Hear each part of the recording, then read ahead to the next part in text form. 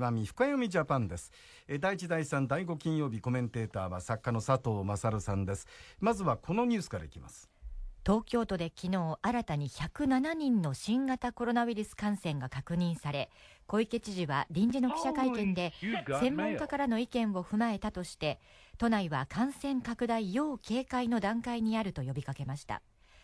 東京都内の昨日の感染者数はおとといの67人を大幅に上回り緊急事態宣言解除後の最多を2日連続で更新しました東京で感染者数が3桁に上るのは5月2日以来です。新たな感染者107人に症状が重い人はおらず、20代と30代でほぼ3分の2を占めているということです。小池知事は記者会見で、休業要請などの措置には否定的な姿勢を示し、感染予防策と経済社会活動の両立を進めていくと説明。その上で、新たな感染者の多くが若年層や夜の繁華街関連になっている傾向や新宿や池袋など特定エリアでの集団検査で目立って増えている点が3月や4月の感染状況とは違うと強調しました、はい、この違いっていうのはまああの集団感染が起きているであろうその夜の街に勤めていらっしゃる方々に、まあ、PCR 検査をしてもらった、はい、えー、そこで陽性がずいぶん出てきたということのようですがいずれにしましても、まあ、107人の、えー、ウイルス感染が確認されたということです。まあ、現在あのリスナーの皆さんも、まあ、お聞き及びかと思いますけどあの医療体制のところは現時点では今のところ余裕はあります。ただこれが、まあ、集団感染があちらこちらに発生した場合、えー、特に重症、中症の方の病床があっという間に埋まる可能性もあるので、十分警戒が必要ということです。そういうことですね。それと同時に、あの、分母がどうなってるかっていうことですね。はい、PCR 検査、どれぐらいしていて、どの地域でどれぐらいしてるかっていうことがわからないと、本当に特定地域だけで極端に多いのか、実は他の地域においても、かなりの数は出ているんだけども PCR 検査の数が足りないからそれが見えてないだけなのか分かんないですよね。ですね。ですからちょっとあの最近の報道で気になるのは特定の地域だけで感染してるんだよ特定の職業の人たちが多いからだよっていう、うん、そういうところっていうのは本当に定量的なデータに基づいた上で言ってる話なのかどうか、ちょっと嫌な感じがするんですね。これ戦前で贅沢は敵だとか言って、その時にまずその焦点で開けたのはカフェですよね、うん、現在のカフェじゃなくて今でいうところの夜のお仕事に近いところでしたよね戦前のカフェは。そういうところに世の中のあの問題が全部集中してるんだ。こいつらだっていうような雰囲気を持ってくってなんか嫌な感じがするんですね。あのこの新型コロナウイルスの、まあ、こう我々の自粛のブームあのムードがこう強まってきたときに、はい私いまだに覚えてるのはあの佐藤正さんがおっしゃったのが抑散という言葉。抑散体制なんですよこれ、はい、要するに天使天皇や皇帝を自発的に支え行動するっていう意味ですよね、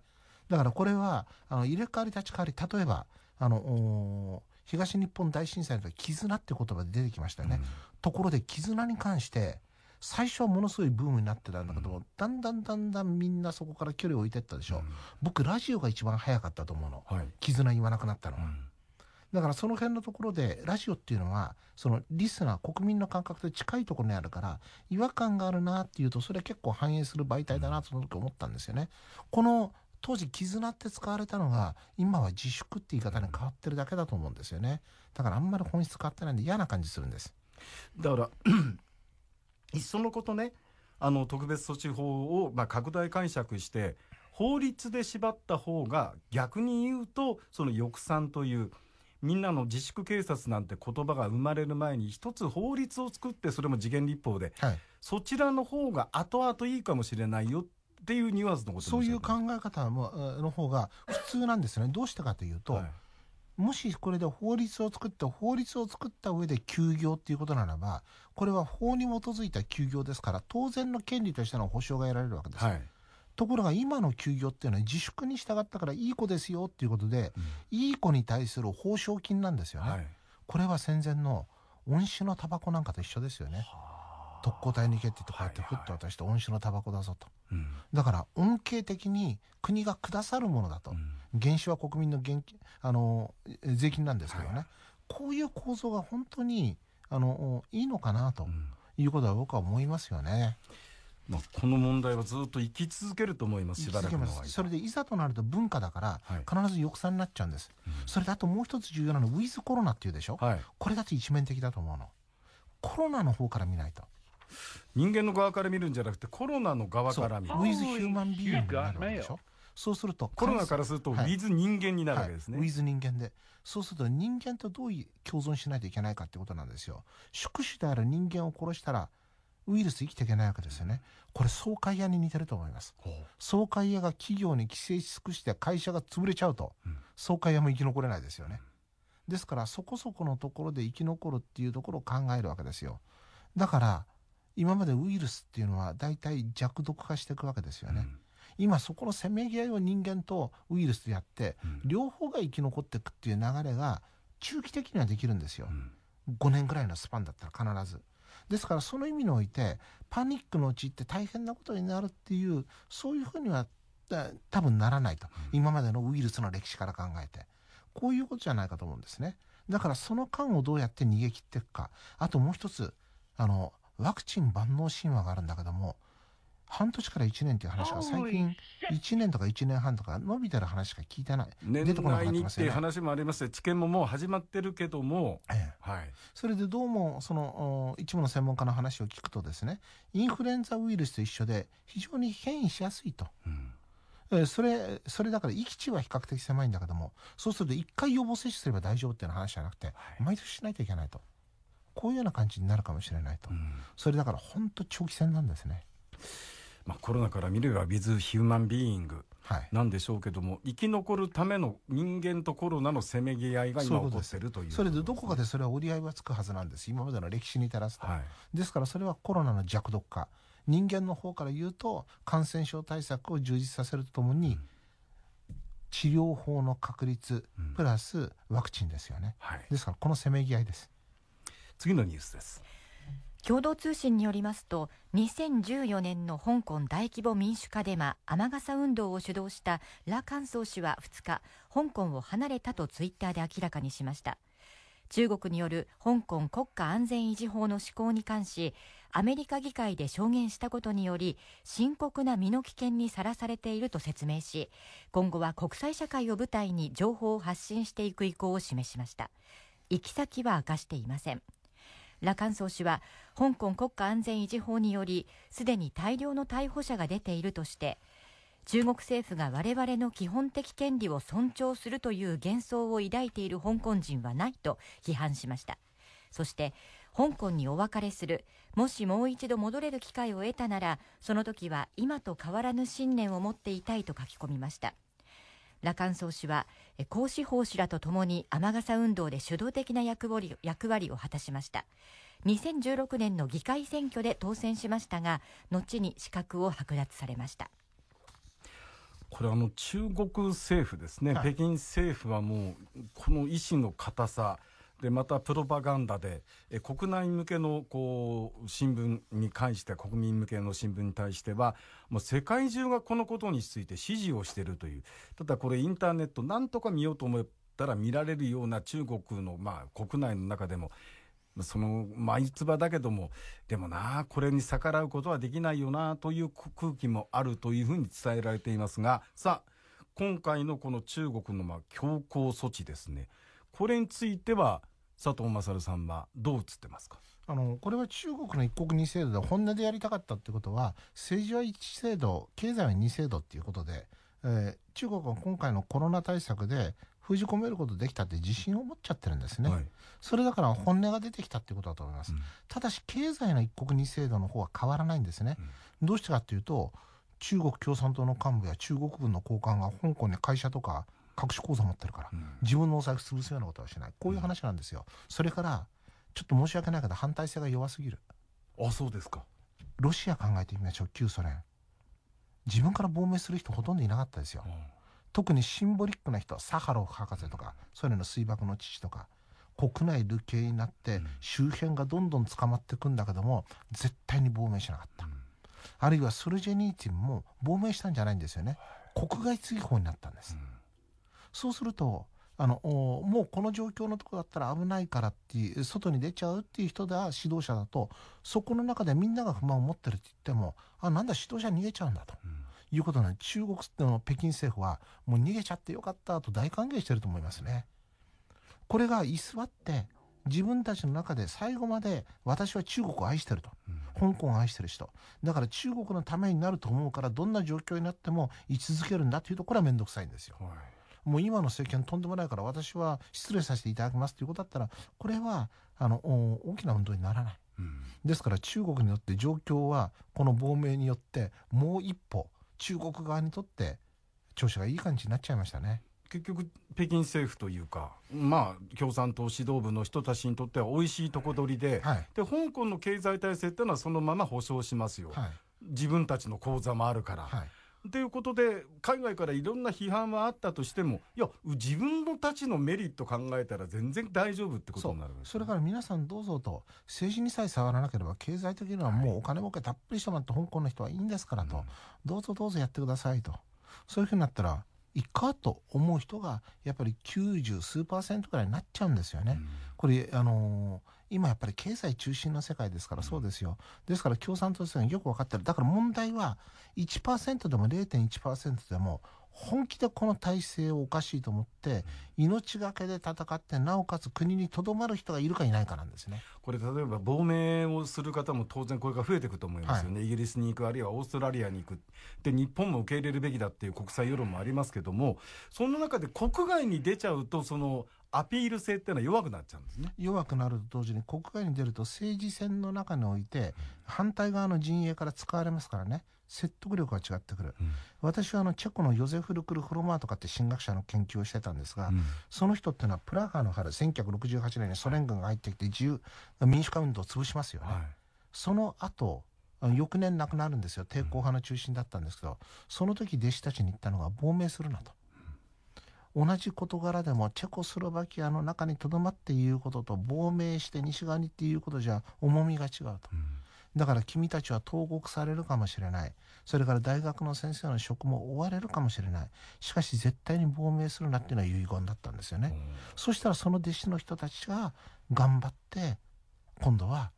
20年経った時には例のビロード革命につながっていくわけですよ、うんうん、やっぱり内側にとどまってるっていうことっていうのはすごく重要なんですね。ただこれあの今回例えば香港で民主化あの民主化運動を続けるとなるとこの法律のもとにですね多分あれですよね。香港から中国の、まあ、北京なのかどこか分かりませんに連れて行かれてそこで、まあ、取り調べを受けで法律違反だろうという裁判を受けて、はい、まあ、そのまま投獄ということになる。それも香港にいることはできない可能性もあります、ね、そういうことです、はい、でもそこのリスクまで追って政治運動っていうのはやるのかどうか。要するに最大限の覚悟を持って政治をやる人が何人いるかっていうことと、うん、私は関係してくると思うんですよ。ちょっと厳しいようですけどね、はい、個人の生き方としてはあの逃げるってのはありです、うん、それから実際に米中対立がある時に逃げちゃったら、うん、もうそれで逃げた先では中立はいられないんです今度はアメリカの西側のプロパガンダ、そこの枠の中の一つの戦士としてしか生き残れないわけですだから反体制運動っていうのはそうすると今度は中国政府の言ってることが正しくなっちゃうわけですよね、うん、今までは自主的にやった運動だけども後ろにアメリカ政府ついてるじゃないかって話になって、はい、今度は現実についてるわけですから後ろに、はい、さっきのフロマーとかの話で言うとロッコマンっていう有名な神学者行ってスイスに出たんですね。やっぱりこれは CIA との関係非常に深くなっちゃいましたからその後。逆に利用されるって感じですか、利用されないと生き残れないような仕組みになってるんです、はい、こういう世界は。3つ目はロシアです。共同通信によりますとロシアのプーチン大統領の長期続投を可能にする条項を含む憲法改正案の是非を問う全国投票は1日開票が行われ賛成は78%と改憲案の成立は確実となりました。ロシア中央選挙管理委員会が開票率97%の段階の暫定開票結果を発表したもので賛成は78%に上りました。反対は21%で投票率は65%でした。現在通算4期目で67歳のプーチン大統領は現在の憲法では2024年の任期満了後は続投できないと定められています。改憲案は大統領の任期を2期までに制限する一方現職大統領には適用しない除外、えー、例外条項を規定していてプーチン大統領が最長で2036年まで続投できる可能性が高まりました。また改憲案には領土割譲の禁止も明記されていて北方領土問題を含む日本との平和条約締結交渉に影響を与える可能性があります。83歳まで、えー、ロシアの大統領で、まあ、これ、選ばれればという前提ですいや、多分選ばれるでしょうね、はい、あのやめられないんですよ、怖くて。これ、プーチンさんはやめられない。そう、要するにその後何やられるか分かんないですから、うん、次の政権が、うん、あの、ちゃんとした人になるって保証はどこにもないんで、後継者作ってないから、うん、これ、ロシアの話じゃないですよ、どっかの国で、長期政権で議員内閣制なんとか珍しく7年やってる、そういう総理大臣がいるとすると。コロナ禍でもどうも調子良くないし、なんか閣僚も、元閣僚逮捕されたから調子は悪い人が出てくると。検察としかも、あの、東京高検庁の人事で構えちゃったと。そういう政権が仮にあるとするでしょ。それで仮に、今政権に対して批判を強めている元の幹事長みたいな人が政権取ったとしたら、その幹事長党内に基盤がないでしょ。うん、財界だってあの人支持してるって話聞いたことない。うん、そうなるとどこに権力行きめやす検察ですよ。前政権の腐敗を全部暴き出すと、うん、世の中をきれいにすると、うん、あるいは辺野古なんかでもその人は辺野古でいいのかで唯一じゃないとか言い張してると。そしたらもしその人が総理大臣になっちゃったら、うん、今の政権の人だし何人かを投獄されるし、それから総理だとバッチ外さないといけないかもしれないと、そういうところに追い込まれますよね。怖いじゃないですか。じゃあどうします？秋に解散を打ってその後4000に向かっていくっていう流れにどうしてもなってきますよね。プーチン大統領の心理は大体それと一緒で、それを10倍ぐらいきつくした感じの状況に置かれてると思います。ロシアでは。はい。要するに命まで持ってかれるんじゃないかっていうところの危機を感じてると思いますよね。まあ、そしたら、とりあえずもう、あの、やれるだけやるしかないと。うん、やめたかったんですよ、彼は。本当は。しかし、やめたらどういうふうになるか分かんないと中がガタガタして。うん、それじゃあ頑張るかと。うん、80、彼は10月生まれだから2歳だと。1936年まであってもと。健康に注意すればまだまだ大丈夫だと、うん、こんな感じでしょう。あのさ一番最後にお伝えしたのは北方領領土問題を含む日本との平和条約締結交渉に影響を与える。全く影響ないです、ね、影響ない？えこれは日本の報道がロシア憲法をちゃんと読んでないからです、うん、あのロシア現行憲法ではあの大統領には領土保全義務があるんですよね、領土保全というのは当然割譲したらいけないってことが含まれてるんです。ですから現行憲法でも領土の割譲できないんです。うん、じゃあなんで日本との、だから屋上区なんですね、この規定は。じゃあなんで日本との領土交渉やってるのかというと、あれは領土としてロシア領と決まったものじゃないでしょ。うん、日本領かロシア領か未定で、あれは国境線確定交渉なんです。うん、それだから、国境確定は違うんだっていうことを、プーチンはっきり言ってますから。今の憲法でも領土の割譲できないんです。じゃあここ何を念頭に置いてると思います？クリミアですよ。はい。クリミアはロシアが一方的な措置でロシア法の下でクリミアはロシア領になっちゃったんだけども次別の政権が出てきた場合にクリミアに関してはあれは力を行使して国連憲章に違反してるからっていう形でクリミア問題それで解決して西側の関係改善をする政権が出てくる可能性があると。制裁解くために。はい、うん、そうすれば制裁も全部なくなって、また西側との関係かなり良くなりますから、ね、G7 から G8 に戻れる。えそしたらプーチンの歴史的な意味っていうのは、とんでもないやつだったってことになるわけじゃないですか。はいはい、国連憲章に違反して、軍事的に多国領を割譲してと。うん、そんなことで歴史に自分のお手が残るのは嫌だから、うん、クリミアを念頭にして置いてるわけですよ。だからそこのところ、北方領土交渉は、もしこれが領土割譲につながるんだったら、今の憲法でもできないんです。だからその辺のところが一昔前と比べると、モスクワの特派員が弱くなってる。ロシア憲法きちんと読んでどういう理屈かって、あのー、捕まえてないから、うん、それだからモスクワの特派員がずれた報道をしちゃうと日本全体ずれちゃうんです。最後は辺野古に行きます。辺野古震度1で崩壊の恐れ。今朝の琉球新報電子版からですアメリカ軍普天間飛行場の移設に伴う名護市辺野古の新基地建設について独自に検証している沖縄辺野古調査団は昨日大浦湾に軟弱地盤が広がっていることから震度1以上の地震が発生すれば護岸が崩壊する危険性が高いという解析結果を発表しました。調査団はこれまでにも護岸崩壊の可能性を指摘してきましたが今回は一部データを切り捨てた沖縄防衛局の設計条件に合わせて計算しても地震発生時には護岸が崩壊する恐れがある。辺野古大浦湾で工事を強行するのは無謀だとしています。もともとマヨネーズの上に杭打ったってそれいずれ倒れるだろう、これは V 字航路にするからこういう問題が出てくるわけですよね、はい、I 字で1本でやるっていうことだったら、うん、オーランの方やらないということだったら可能になっちゃいますから、うん、この理屈っていうところから直ちに辺野古が止まるかっていう方向につながるかというと逆に愛でやればいいじゃないかと、うん、V やめてと、そういうような議論も出てくるかもしれないですよね。それで今このイージス・アショアをあのやめちゃったっていうところから、はい、あの理由っていうのは住民に不安があるっていうことと技術的に難しいっていうこと、うん、あの辺野古もう技術的に難しいと、うん、住民は嫌がってるっていうことだったら辺野古もやめる可能性はあると思うんですよね。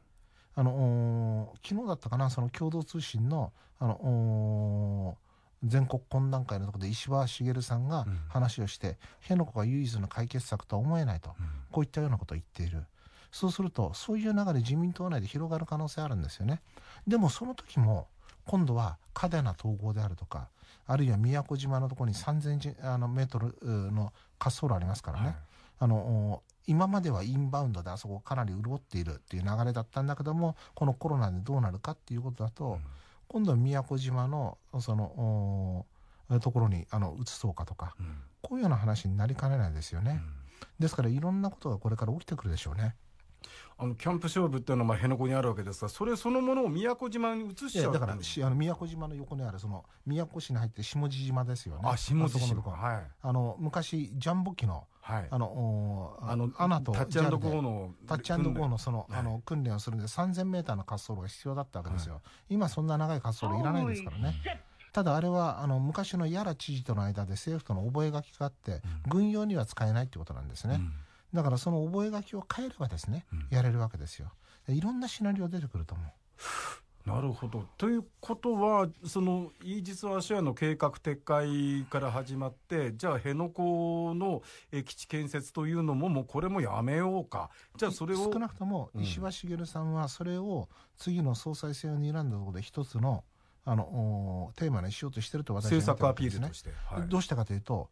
党内に基盤がないと。うんしかし国民的な人気はあると、うん、さらにリベラル派に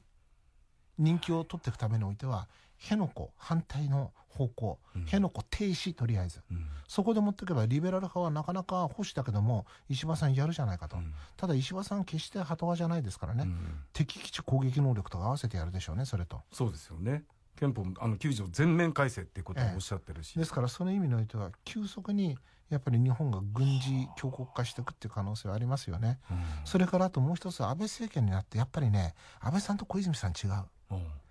小泉さんはアメリカとは絶対に構えなかった、うん、安倍さんはイージス・アショアではっきりしたけどもかなり対米自立志向の強い人だ、そうすると安倍政権下においてももしかするとこれあの石破さんがそこのところであの民意を糾合していって、うん、次の総裁のボスを狙おうとすると先取りして河野さんにやらしちゃうかもしれない。はあ？河野さんがイージス・アショアの流れと一緒のところで、うん、いや辺野古についても技術的に無理だからと、うん、民意じゃないと、技術的に無理で金がかかりすぎるからやらないと、